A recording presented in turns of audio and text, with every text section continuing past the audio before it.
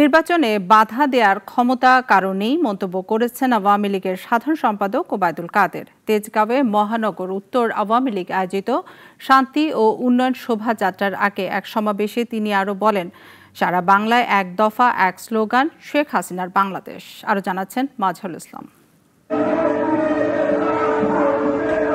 যুক্তরাষ্ট্র ও ইউরোপীয় ইউনিয়নের প্রতিনিধিদের সফরে বিএনপির নেতাদের আশা পূরণ হয়নি বলে দাবি করেছেন আওয়ামী লীগের সাধারণ সম্পাদক ওবায়দুল কাদের।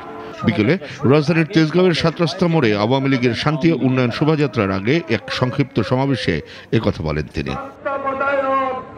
ক্ষমতাসীন আওয়ামী লীগের সাধারণ সম্পাদক প্রশ্ন রাখেন, ক্ষমতায় থেকে কেন আওয়ামী লীগ গোলমাল করবে? বরং দেশে শান্তি থাকলেই ভোট বাড়বে। ওরা এখন পায়ে পা রেখে করতে চায়। আপনারাও সব করবেন না। আমরা ক্ষমতা আমরা জেতা পার্টি আমরা কেন রাজনৈতিক আন্দোলনে ব্যর্থ হয়ে বিএনপি এখন সন্ত্রাস বেছে নিয়েছে মন্তব্য করে ওবায়দুল কাদের বলেন বিএনপির নির্বাচনে না আসলে কিছু যায় আসে না। নির্বাচনে বাধা দিতে এলে জনগণকে নিয়ে প্রতিহত করা হবে বলে হুঁশিয়ার করেন তিনি।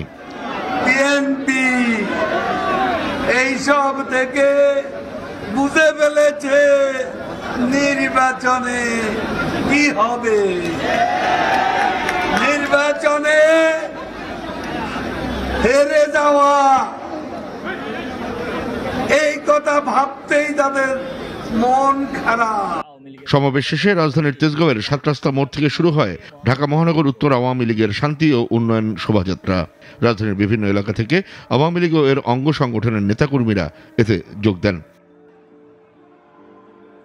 মাজহারুল ইসলাম নাগরিক ঢাকা।